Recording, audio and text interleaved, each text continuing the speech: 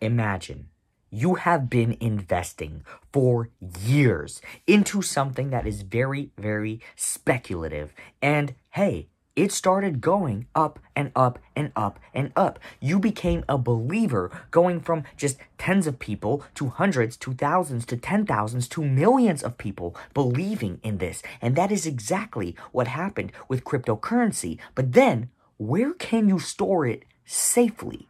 A lot of people went with platforms that were offering high interest rates. I am uh, no exception to this, by the way. I took plenty of L's on this crypto journey, and that is why only a small fraction of my investment portfolio goes toward cryptocurrency. I still think it's a great idea, not financial advice. Um, but what happens if the platform that offers this 8 to 10% uh, yield on your money guaranteed um, suddenly is uh, we, we find out it's ran by scammers and they planted a back door into every account and can drain your cryptocurrency if you happen to log on to the site. That is exactly what happened uh, with FTX, the crypto investing platform. Let's break it down.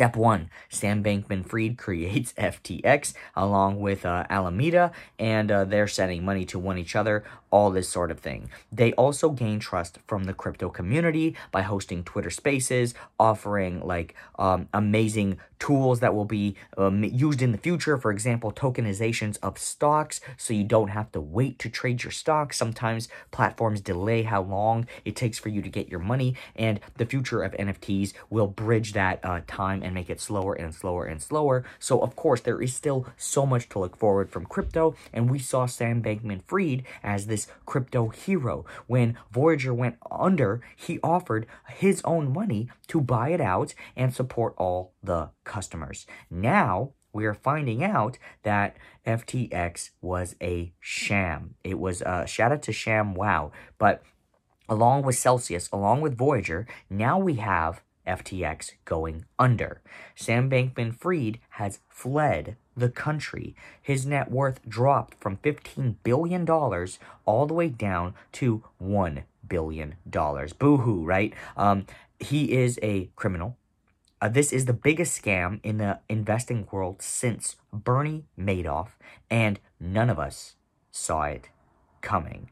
And I'm not going to act like I saw it coming, right? I have videos where I was excited that Sam Bankman Fried was preaching for a world that is inclusive of cryptocurrency, right? I take my L. I take my losses. And this is why I am very careful when I invest in cryptocurrency and where I store it. Um, at the end of the day, I like using Coinbase's wallet. It's not connected to Coinbase. Uh, as far as my knowledge goes, do your own research. And I can take it offline if I like to into a cold storage and I'm waiting till I hit a certain amount of cryptocurrency in that wallet to do so. Now, when it comes to platforms, approximately every $500 of USD value, I transfer it out. So once I have $500 in Ethereum on Robinhood, I transfer it out. By the way, if you are using Robinhood for your cryptocurrency, don't forget, it must be inside of their app for at least five days before you can take it out. So this helps uh, avoid any bank run situations,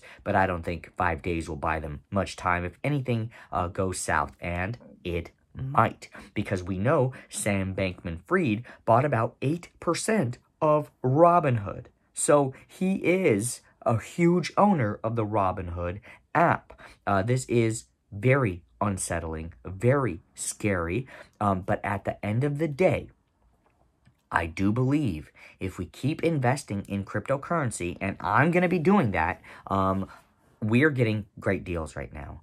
The prices have crashed so much. People are going to fear crypto for years.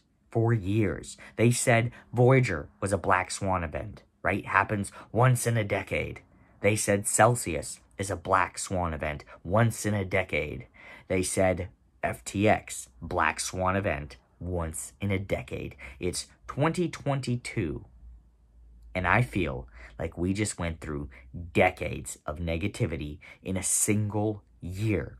We are finally seeing stocks and crypto uncorrelate from one another. Stocks have been surging while crypto mm, kind of trying to recover, but ultimately down bad.